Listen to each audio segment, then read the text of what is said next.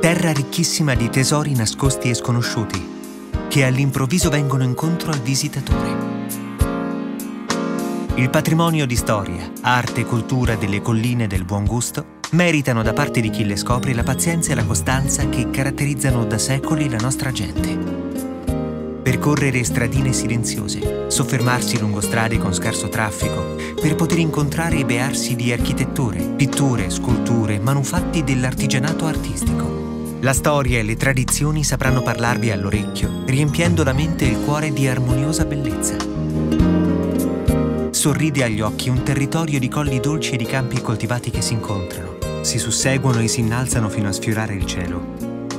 L'occhio segue i profili dei paesini posti in cima alle colline e i filari degli alberi che incrociano i campi dalle mille sfumature di colore, creando scenari di uno spettacolo unico.